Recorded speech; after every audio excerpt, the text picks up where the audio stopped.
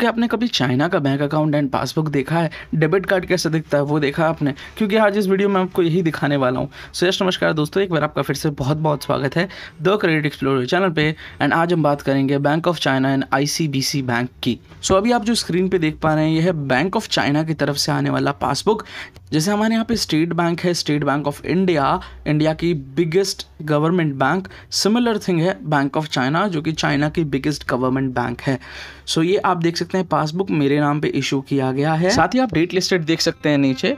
Year 2019 में ये issue किया गया था मुझे। When I was in China तब मैंने ये बैंक अकाउंट ओपन कराया था। उसके साथ मुझे ये पासबुक देखने को मिला था। बैंक ऑफ़ चाइना की वेबसाइट कैसे दिखती है, आप अपनी स्क्रीन पे अभी देख सकते हैं। एब्सोल्युटली एक इंटरनेशनल बैंक है और मेरे पास इसका इंटरनेट बैंकिंग आईडी पासवर्ड भी है। बट मैं उसको यहाँ पे एक्सेस नहीं कर सकता क्योंकि चाइनीज़ मोबाइल नंबर जो है, उस पर मेरे ओटीपी नहीं आता।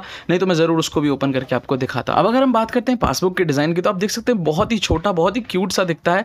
एक्चुअली क्या है, वहाँ पे पासबुक जैसी चीज़ें बहुत कम लोग ओल्ड एज वाले पीपल यूज़ करते हैं। नए पीपल तो बहुत रेयरली यूज़ करते हैं। इसलिए ऐसी चीज़ें कम ही बनाती हैं और कुछ बैंक्स तो पासबुक इशू करती ही नहीं है। ऑन डिमांड इशू करती है, ऐसे नॉर्मली प्रोवाइड नहीं करती जैसे कि ये आई से बैंक इसका पासबुक नहीं है मेरे पास क्योंकि ये ऑन डिमांड इशू कराना होता है।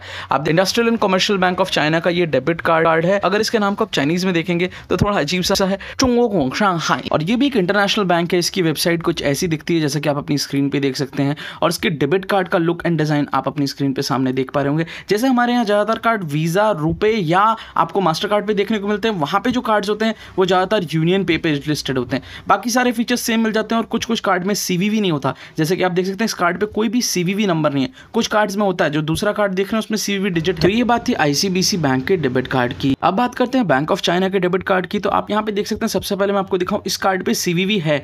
दूसरे कार्ड पे सीवीवी नहीं था। अब इस कार्ड का थोड़ा सा डिज़ाइन आपको अलग दिख रहा है बिकॉज़ ये बिकॉज़ ये ईयर ऑफ़ पिग के हैप्पीनेस में डिज़ाइन की गई है। कारण ये होता है कि चाइना में जितने भी ईयर्स हर साल एक एनिमल जैसे वहाँ पे कुछ एनिमल्स होते हैं जिनको वो लकी मानते हैं। तो जिस साल मैं वहाँ पे था ईयर ऑफ़ पिग था मतलब 2019 जो था, वो ईयर ऑफ़ पिग के नाम से वहाँ पे फ़ेमस रहता है, क्योंकि वो पिग को पूरा डिनोट करते हैं। पिग वहाँ पे बहुत लकी माना जाता है। तो उस हिसाब से कार्ड डिज़ाइन करके मुझे मिला हालाँकि इनके नॉर्मल कार्ड्स भी आते हैं।